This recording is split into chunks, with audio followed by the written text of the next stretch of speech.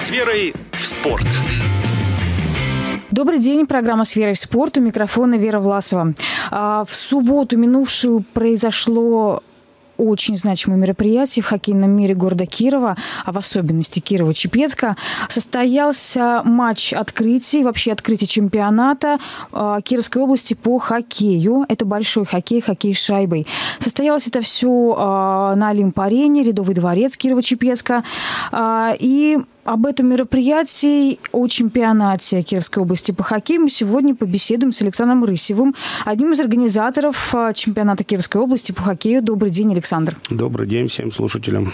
Итак, давайте начнем с того, что же из себя представляет чемпионат, а, почему он так называется и как давно он существует.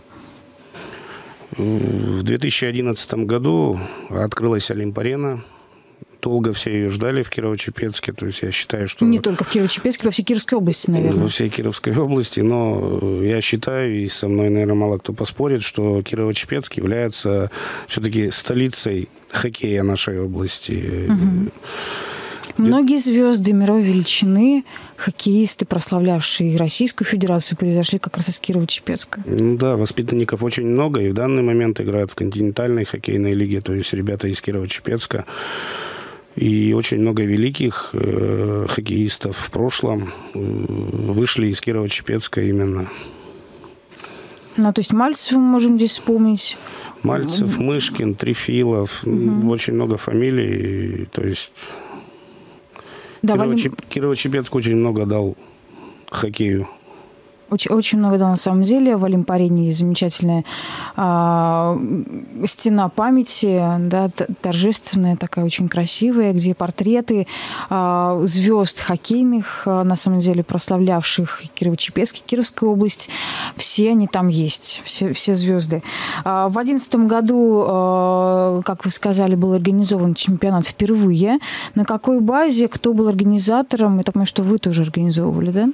Ну да, мы с, с моими ребятами, с теми, с кем играли раньше по высшей лиге, то есть занимались в ДЮСШ Олимпии,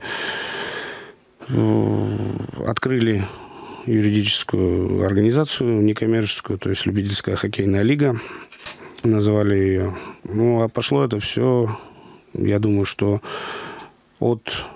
Ну, во-первых, конечно, это позволило открытие Олимпарены это сделать. То есть появился, появилась площадка, где можно, во-первых, тренироваться, насколько я понимаю, да, и детям, и взрослым, во-вторых, проводить а, соревнования подобного уровня масштаба. Да, то есть, ну, тяжело было на улице играть, и поэтому приходилось ездить до 2011 года, участвовать э, в чемпионате, который проходил в Союзе. Угу. Ну, из Кирова на каждую игру, из Кирова-Чепецка ездить на каждую игру в Киров, то есть и накладно финансово. Ну, и зачем ездить, если открылся свой, свой дворец, которого так долго ждали. Значит, ну, сам я немного поиграл, поиграл по высшей лиге за Олимпию, то есть э, взяли меня там в 17-летнем возрасте, но у вас за плечами была школа, да, какая-то хоккейная? Да, с шести лет, э, с шести лет занимался хоккеем. Как раз на примере, наверное, этих вот звезд, которых мы сегодня уже перечисляли. У нас там, там все занимаются на примере этих звезд. Да, да. Э, ну, дальше не получилось с высшей лигой, э, но не опустил руки, и, значит, дальше у меня за плечами четыре хоккейных сезона э, в Мурманской области, то есть за различные команды Мурманской области. И много ребят туда, и из Кирова-Чепецка тоже забрал, посоветовал. Некоторые до сих пор там играют, живут, женились. То есть там профессиональная команда?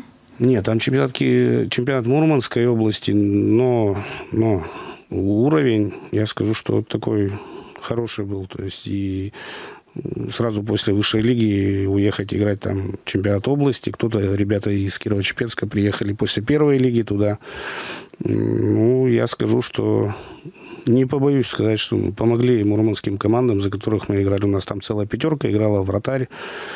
Э, значит, вот ну, там я увидел э, областной чемпионат, то есть как, как он делается. Полный mm-hmm. дворец приходит болеть там за команду «Гранит»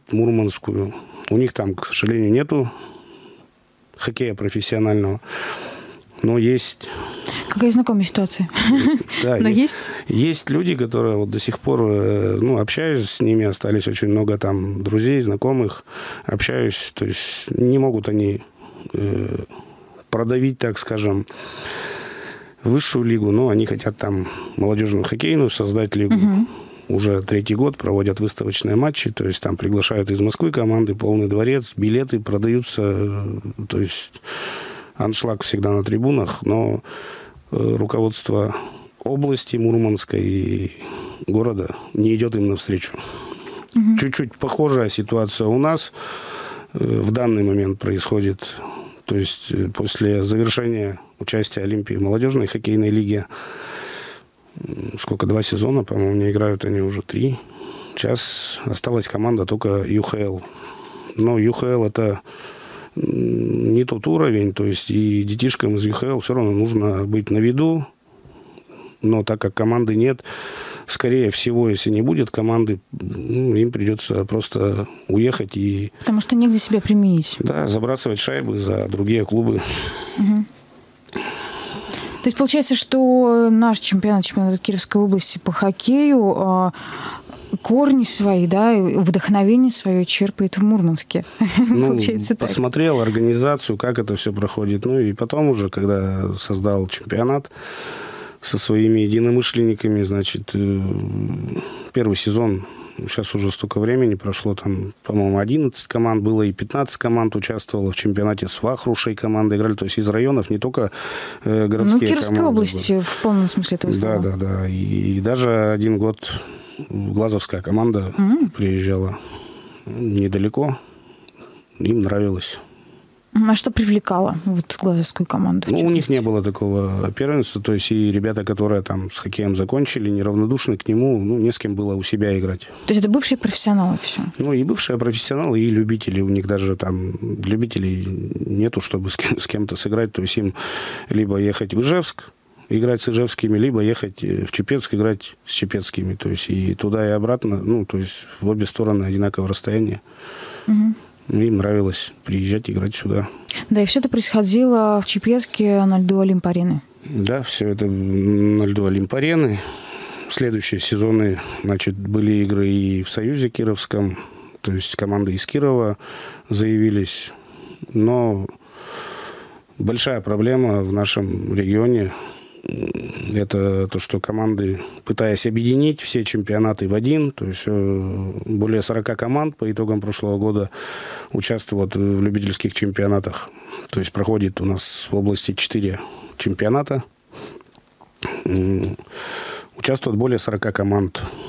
И когда предлагаешь объединиться, там, разделиться на дивизионы согласно силам своим. То есть многие отказываются. Опять же, проблема, как как мы будем добираться из Кирово-Чепецка там в Киров угу, и обратно. Здесь мы сталкиваемся с проблемой отсутствия финансирования. Да, что добирались бы с удовольствием, если был бы транспорт хотя бы, да, чтобы можно было экипировку и все перевозить. Да, очень дорого. То есть э, на плечи команд ложится и... Даже аренд... в пределах Кировской области. И аренда льда ложится, и клюшки ломаются, форму надо покупать. То есть, ну, тяжело простому любителю куда-то еще выехать.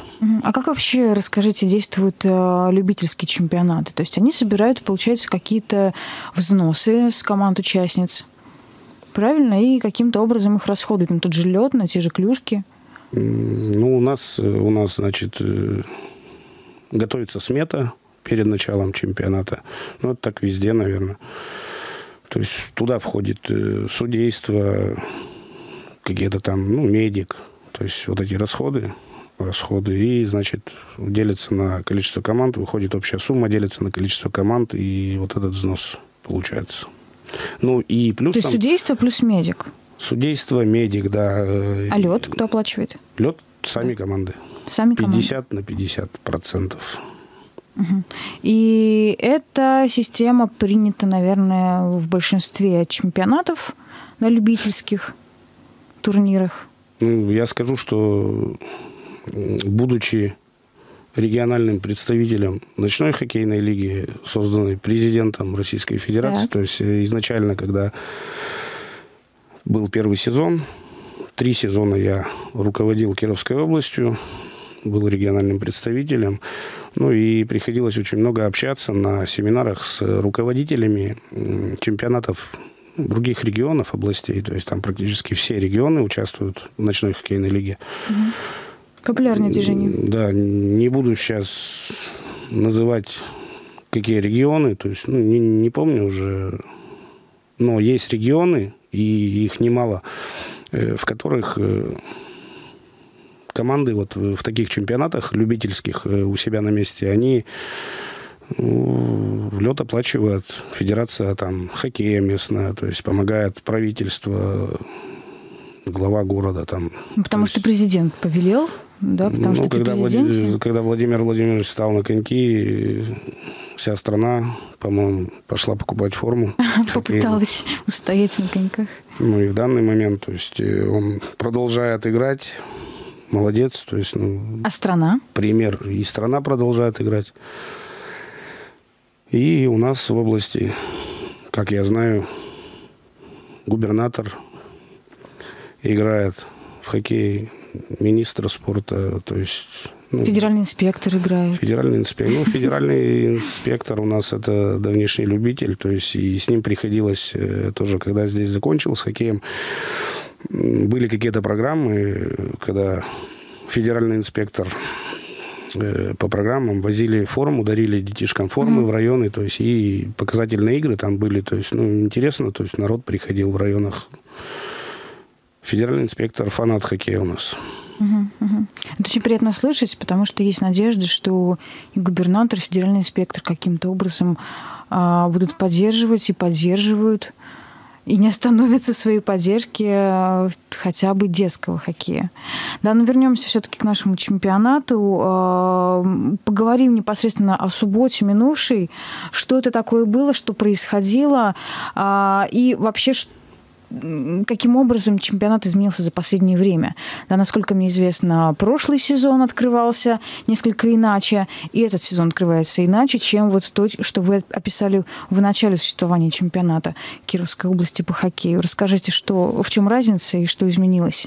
Ну, с 2011 года, то есть э, у меня были предложения командам, как это делается во многих регионах, э, собирать вот, ну, некие членские взносы. То угу. есть они были копеечные, там предложены мной.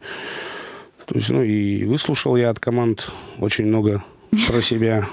То есть, ну, как, когда дело дошло, что ну, все это смета прикладывалось, что, ну, по моему мнению, то есть, что такое развитие и популяризация, это должны быть афиши в городе, то есть привлекать Конечно. детишек на трибуны, зрителей, да, зрителей, да, чтобы ходили, вот это есть популяризация. Но когда команды сказали, что у нас нет финансирования, зачем нам афиши, даже такое было, что зачем нам табло и столько судей. Угу. Ну, я по этому поводу считаю, что это не развитие и не популяризация. Ну, так покататься Да, покататься. Да? Ну, также точно можно покататься, когда речка замерзнет, вот можно шайбу бросить и поиграть. Угу. Вот, значит, со взносами, со взносами не, не получилось. Подождите, но вы же говорите, что это довольно-таки общепринятая практика а, во всех других, в других ну, регионах. Ну, не во всех, но во многих регионах. Да, там, где есть... нет а, более ощутимой, скажем, чем у нас, поддержки а, властимущих. Правильно я понимаю? Да. Ну, опять же, вернемся э, к вопросу э, городов Киров и Кирово-Чепец, то есть вопрос, как добираться на игру uh-huh. из Кирова в Кирово-Чепецк. Ну, с руководителем Вологодской области чемпионата общался в Сочи. До сих пор общаемся. То есть, ну, у них, если я не ошибаюсь, самая дальняя поездка от команды, от команды к команде составляет 700 километров. Ого. И никто не задает вопрос, как туда ехать. А кто деньги? За свой счет. Ну, у кого-то есть спонсоры, то есть, ну... Каких-то команд, получается, да, да есть спонсоры, не чемпионатов. Мое было предложение вообще по вот этим членским взносам, афишам, то есть э, написанием статей, чтобы о чемпионате, о чемпионате, ну, услышали многие, то есть это и руководители предприятий, и когда они бы услышали это, если бы такое было, то есть, ну, можно было найти еще в те сезоны партнера чемпионата, командам найти своих угу. партнеров. То есть... то есть цель была минимизировать затраты команд на участие в чемпионатах? Конечно, но для угу. этого нужно было сначала самим помочь себе. но не захотели ни афиши, ни статьи в СМИ. Значит, ну, в других регионах, скажу, вот общался тоже Магнитогорск, то есть ребята, у них тоже в 2011 году открыли они организацию, собрали взносы, конечно, тоже много выслушали себя плохого, когда начали собирать, кто-то э, отказался участвовать в этом чемпионате, они провели э, первый сезон, у них было, по-моему, четыре команды, если я не ошибаюсь. В данный момент под их эгидой играют, играют все команды угу. Магнитогорска. И скажу больше, ну, по моим последним разговорам, что у ребят уже в этой организации появился свой партнер, стабильный партнер, и уже есть свой дворец даже ледовый построен. То есть партнер построил дворец? Ну да, тренировочный дворец, то есть... Э, и это, круто. это существенно уменьшило затраты. У них там есть конкурентоспособность, то есть э, цену он для любительских команд сделал дешевле, угу. ну, то есть стало легче играть в хоккей. На самом деле, этот э, дворец, ну, спустя наверняка несколько лет может хорошо очень окупиться, потому что потребность в льде у нас, насколько я знаю, в Кирове, по крайней мере, очень высокая. И в Кирово-Чепецке, так думаю, что тоже. Ну да, есть э, команды любительские, которые не хватает которым льда, и приходится даже тренировки там, ну, слышал, в час ночи ходят, катаются да, да, ребята. ходят. Утром идут на работу очень... Это касается не только хоккея, но и хоккея с мячом в том числе. Хоккея с мячом, фигурного катания. То есть да. все жалуются, что нет... Ну, нехватка льда какая-то происходит, но, допустим, я вырос э, в ДЮСШ, когда мы играли.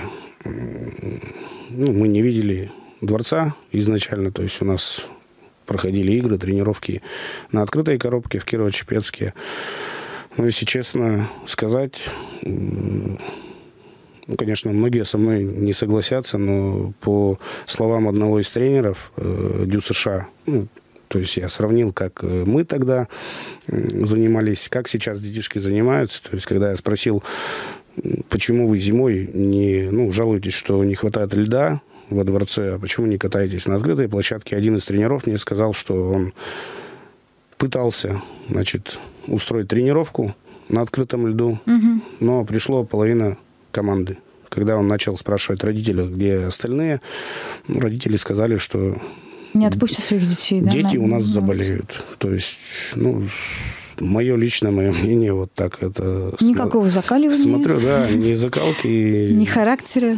Да, раньше, раньше было по-другому. То есть, ну, и сейчас, если честно говоря, что наблюдая происходящее, ну, родители все-таки больше, больше делают упор на учебу, своих детей, нежели на спорт.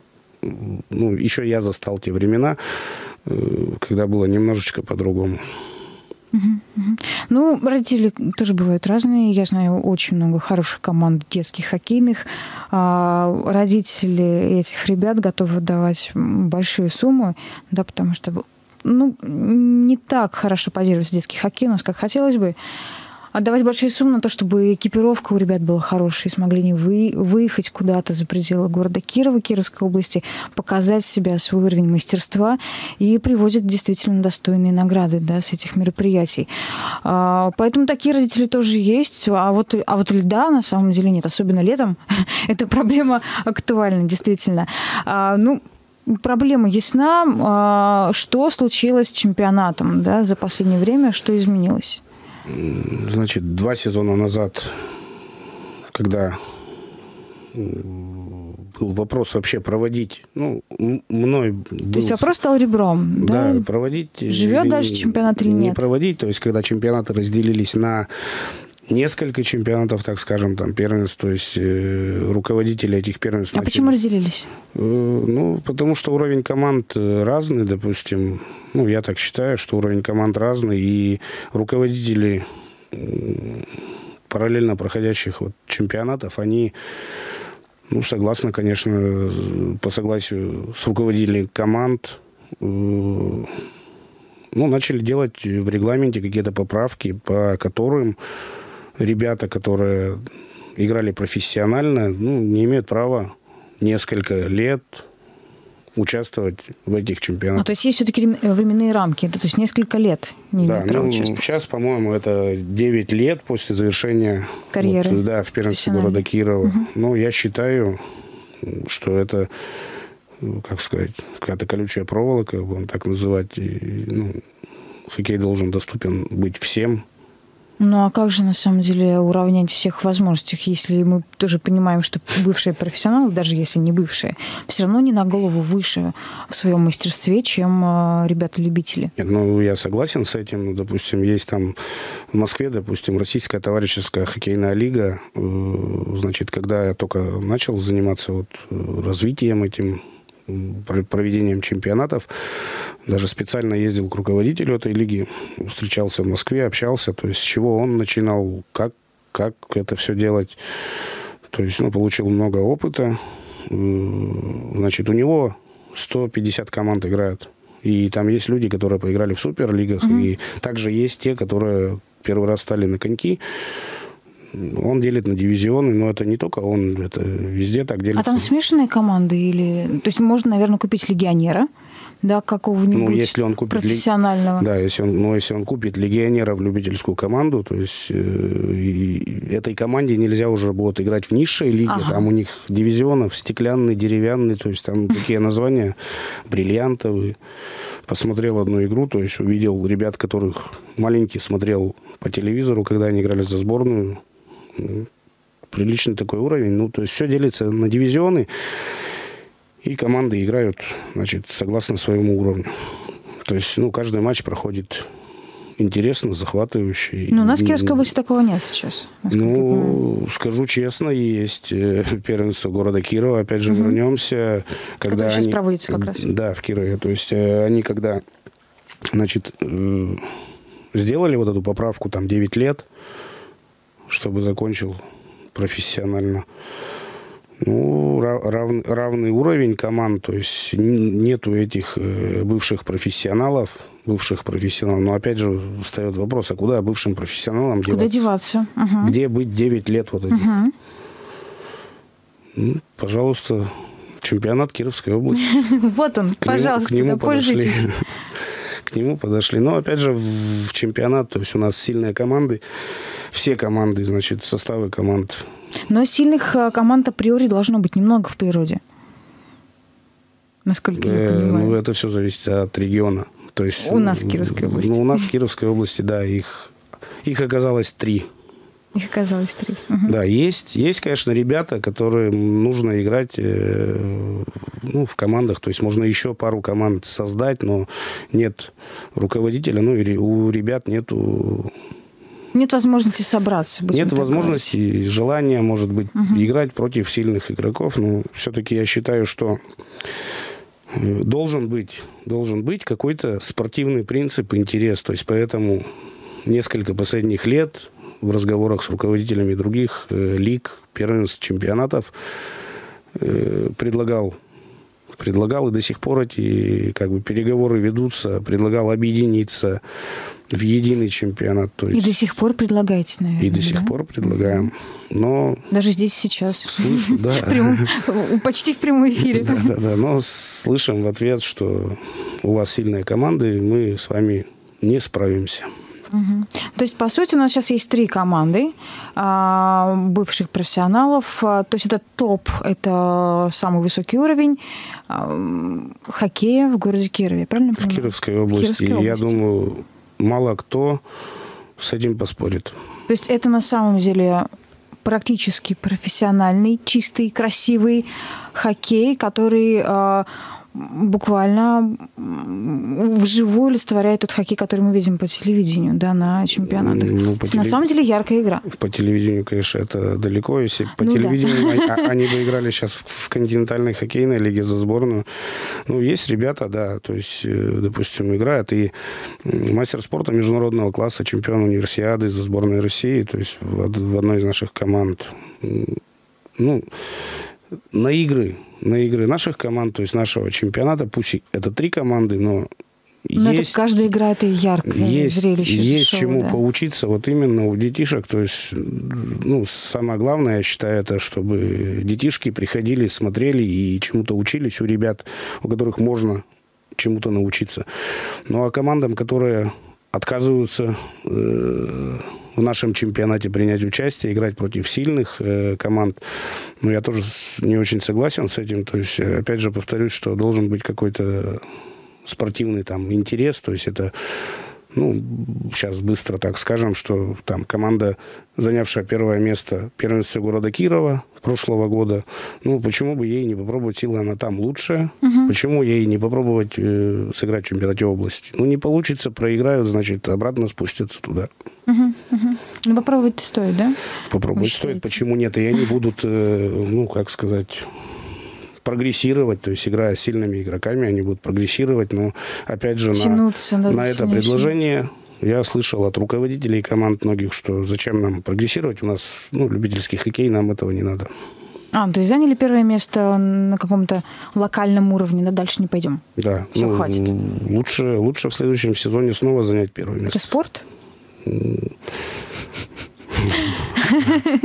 Вопрос с подвохом. Да, да, спорт. Ну, должен быть, должен быть спортивный интерес. Команда, занявшая первое место дивизиона Б, там должна идти в дивизион А. Теоретически, да. Последняя Согласна команда дивизиона А должна спуститься в дивизион Б. То есть, и эту проблему, не проблему, то есть недавно я обсуждал в Министерстве спорта Кировской области с Георгием Андреевичем, объяснил ему эту проблему, значит, по объединению поговорили.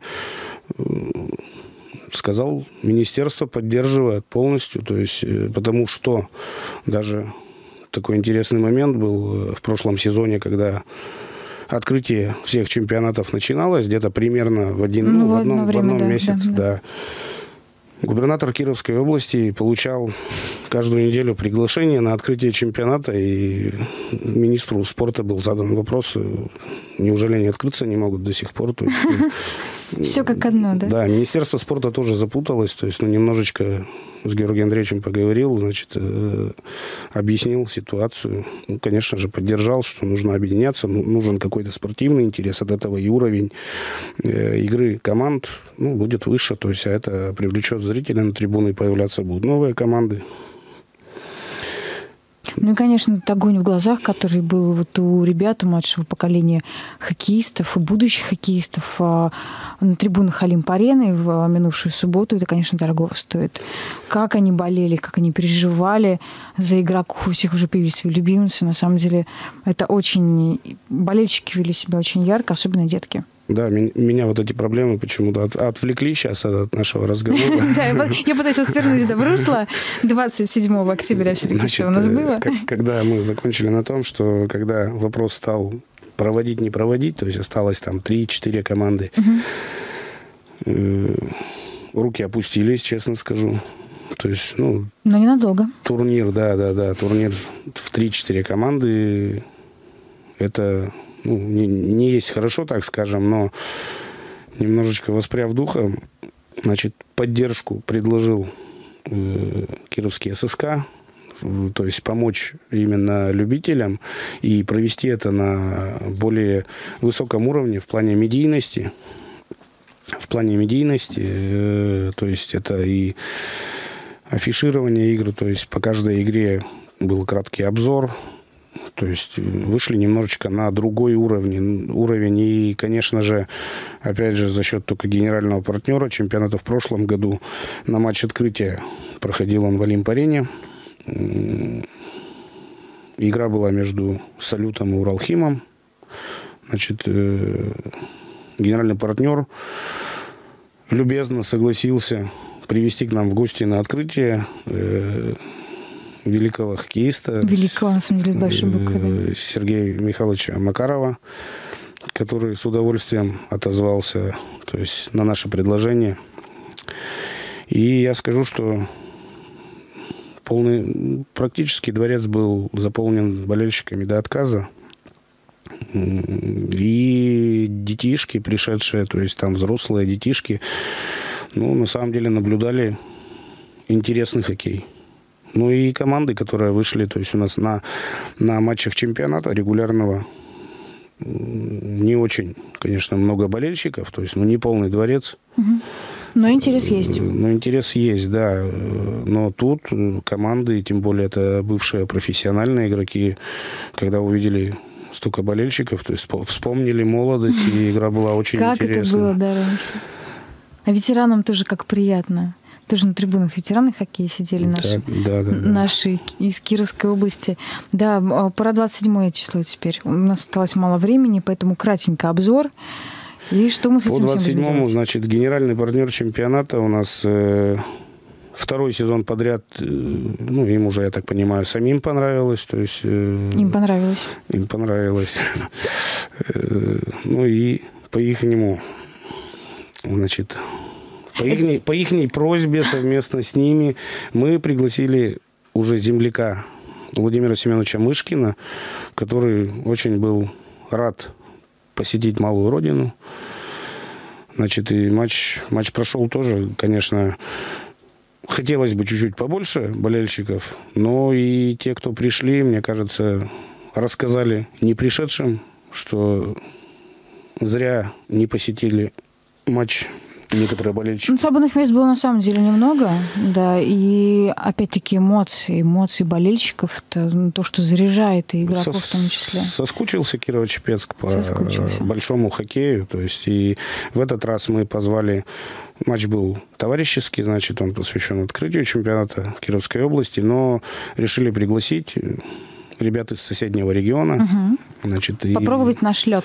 Да, попробовать наш лед. Ну, мы мало тоже, как скажем так, команды в других регионах команды любительские, то есть имея там надежного партнера, они ездят, то есть вот э, там по турнирам, Москва, mm Питер, есть такие турниры, они проводятся везде. Допустим, вот Омега Ижевская, которая приезжала к нам 27 числа, у них за плечами опыт выступления на турнире в Майами. Ух ты. Это все благодаря партнерам? Ну, благодаря, да, партнерам. Ну, конечно, что-то, счет, наверное, что-то, что-то легло на их плечи, то есть угу. на участников. Ну, Владимир Семенович остался доволен. Болельщики, я считаю, тоже остались довольны. Детишки видел радостные лица. То есть... А как они болели? Все-таки вот там был конкурс еще на, на лучших болельщиков. Как мальчишки старались? Это просто что-то за своих болели. Ну, они болели за своих. И в составе команды, которая представляла Кировскую область, «Салют», э, играли их тренера. То есть они пришли поболеть за своих тренеров. Mm-hmm. Ну и тут уже от тренеров тоже зависело. Я считаю, они показали своим уже опытом, как надо играть в хоккей. Да, да, своим примером как раз то, чего мы так хотим, то, чего мы так добиваемся. Это именно примеры, живые примеры а, игроков, которые здесь сражаются сами. Не просто теоретики, а именно практики. Что дальше будет с чемпионатом? Как, как а, будут проходить игры? игры? Как об этом Значит, у нас недельки через две начнется сам чемпионат. Э, участвуют четыре команды, то есть это Уралхим, Салют, э, Каскад Авто и ребята Дю США, они, которые не попали в состав э, юниорской хоккейной лиги Олимпии. Но я считаю, вот именно эта команда Дю США, которая будет участвовать и играть против бывших профессионалов, у ребят этой команды есть хороший шанс, хороший шанс э, доказать, показать и все-таки пробиться в состав ЮХЛ. Угу. Ну, именно для этого поднатаскать мы их и пригласили. Зарядить на поле, да? да. На льду прямо. Ну, будут угу. прогрессировать ребята, играть против бывших угу. профессионалов, некоторых только закончивших там. Александр, где можно познакомиться с расписанием игр как, как, вот через две недели, которые будут уже начинаться? Есть группа ВКонтакте у нас, значит, чемпионат Кировской области по хоккею. Угу. То есть там вся информация да, будет вся информация будет в ближайшее время там по расписанию. Ну и еще хотелось бы одно сказать, чтобы болельщики ждали команды не опускали руки. Во-первых, это мы будем все-таки вести дальнейшие разговоры, переговоры с руководителями параллельно проходящих э, первенств, то есть э, объединить все-таки в единое целое все команды, разделить их на дивизионы. Э, тем более, что генеральный партнер чемпионата понимая, что это не 4 команды уже, а 40, Э, дал добро, и он тоже, то есть э, генеральный партнер надеется на популяризацию, развитие, помогает в этом. Э, ну и с ребятами из Ижевска, которые приезжали, то есть ведем сейчас переговоры.